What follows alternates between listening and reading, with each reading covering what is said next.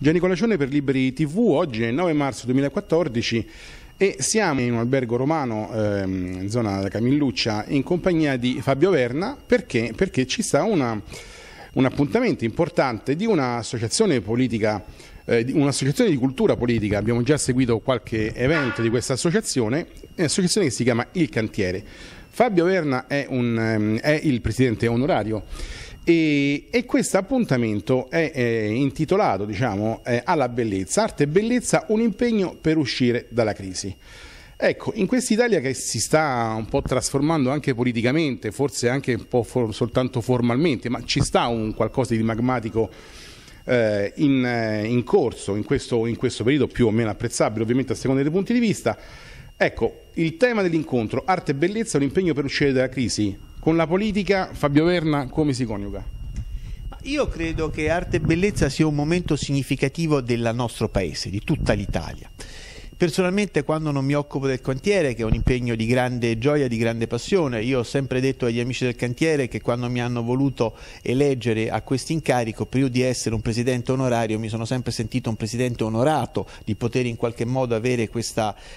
possibilità di rappresentare queste idee, questa cultura, questa espressione di intelligenza, se me lo consentite, di persone molto più capaci e competenti di me che stanno lavorando tutti quanti per offrire risposte, eh, studi, valutazioni a quello che è la situazione attuale politica-economica del nostro Paese.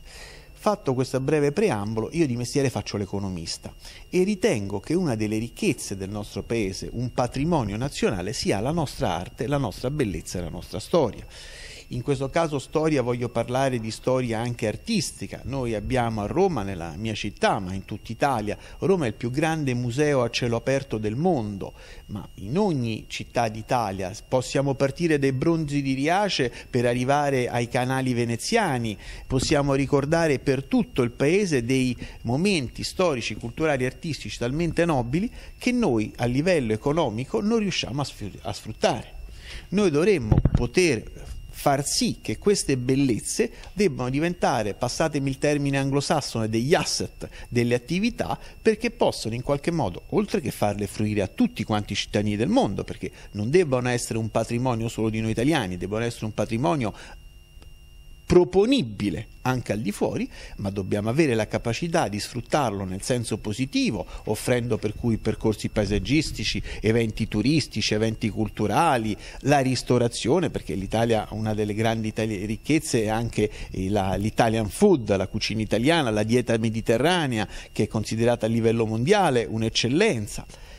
dobbiamo cominciare a pensare che il nostro paese è un grande paese, un paese molto positivo, che abbiamo avuto delle capacità degli uomini, degli imprenditori che hanno fatto grande l'Italia e famosa l'Italia nel mondo e che probabilmente se in questo periodo, sicuramente molto molto difficile, sicuramente di grande crisi economica,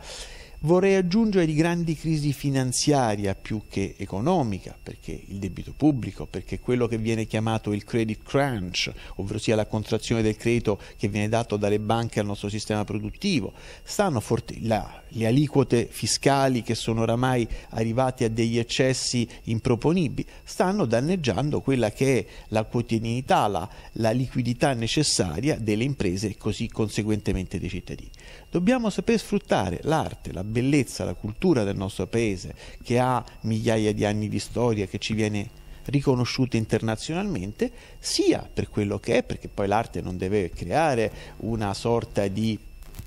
eccesso di utilitarismo, però sicuramente deve essere messa a reddito. Qualche giorno fa siamo stati censurati dalla Commissione europea perché non siamo riusciti a mantenere una delle opere, delle dei ricordi della storia dell'umanità, Pompei, che ci è stata tramandata nei secoli, non siamo riusciti a mantenerla con quella cura, con quella costanza, con quei costanti restauri che necessita e che merita una città con duemila anni di storia che ci è stata tramandata da quello che fu un evento apocalittico, l'eruzione del Vesuvio, ma che ci è stata eh, tramandata ai giorni d'oggi di fatto integra. Potremmo parlare per ore di arte e bellezza. Io credo che sia un momento importante, abbiamo scelto questo life motif per l'assemblea annuale del cantiere. Oggi il cantiere si riunisce eh, un'assemblea generale in cui ciascun socio, associato o amico di associati che vorrà iscriversi potrà dare un suo parere e una sua eh, espressione di volontà, perché noi siamo un'associazione aperta, siamo un'associazione pronta ad accogliere idee di tutti, siamo un'associazione pronta a difendere le idee di chi non la pensa come noi e di contraddirle con altrettante idee di cui ci sentiamo fieramente portatori. Per cui questo è il nostro spirito. Alla fine dell'assemblea uscirà fuori un nuovo gruppo di rappresentanza, non mi piace parlare in un'associazione di gruppo dirigente, forse io rimarrò ancora il presidente onorario, forse no, e se non dovesse essere mi metterò al lavoro insieme a tutti gli altri con lo stesso spirito di sacrificio, lo spirito di servizio che caratterizza ciascun componente del cantiere. Siamo tutti, loro sono tutti molto bravi, tranne me, io ho solo i capelli bianchi e per cui questa è la nostra giornata di lavoro. Stiamo portando avanti una serie di progetti importanti che vanno dalla attualissima riforma elettorale che è in votazione alla Camera fra un paio di giorni, a tutta una serie di problematiche occupazionali, ricordo il Job Act che va in Consiglio dei Ministri il prossimo mercoledì, sono momenti importanti per il Paese, c'è un grande fermento di tutti i cittadini italiani, il Movimento 5 Stelle ha voluto dire in maniera forte e veemente la sua, il Partito Radicale è presente con delle proposte, vi sono i forconi, vi sono tante altre associazioni come la nostra con cui noi facciamo rete. Vi stanno pensatori, think tank, come dicono quelli bravi, sto pensando alla Fondazione Naudi, c'è voglia di proporre del nuovo, c'è voglia di andare verso dell'altro, quello che noi chiamiamo il nuovo possibile. Credo che gli italiani meriti con questo, credo che il nostro Paese lo meriti e credo che tutti quanti, rubo le parole al Presidente John Kennedy, dobbiamo smettere di pensare cosa l'Italia possa fare per noi, ma cominciare seriamente a pensare cosa noi possiamo fare per il nostro Paese.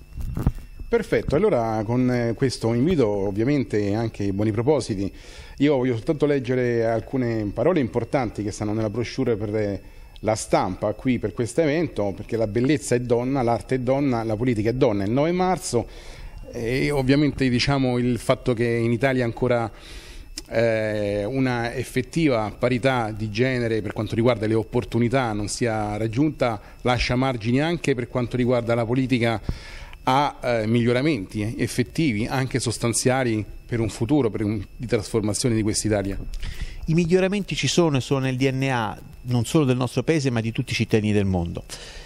Sono miglioramenti costanti ma lenti. Noi esseri umani, ciascun singolo essere umano misura i passaggi storici sulla propria temporalità di vita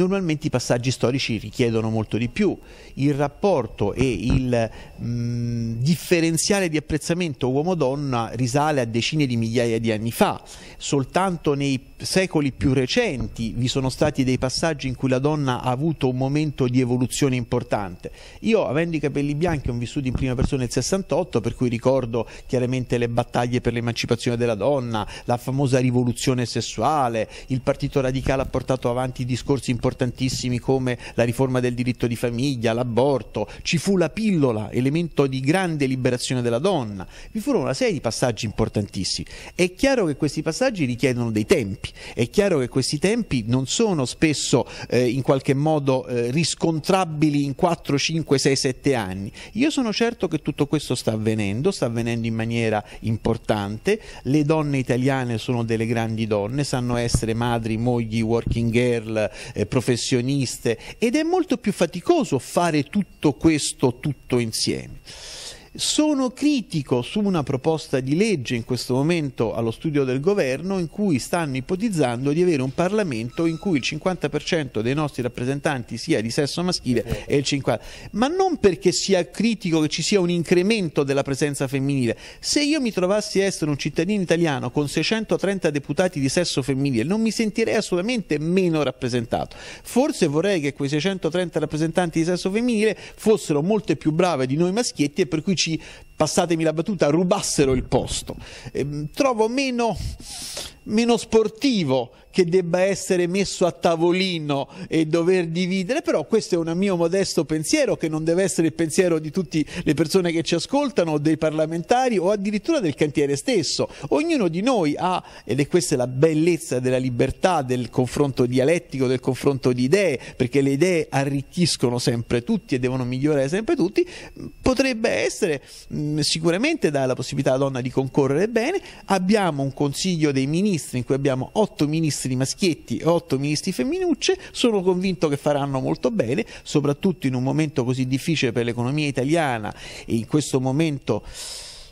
ci stiamo preoccupando moltissimo dei fatti di casa nostra. Mm, a poche migliaia di chilometri da qui ci sono venti di guerra che mi spaventano molto di più di taluni fatti interni al nostro paese.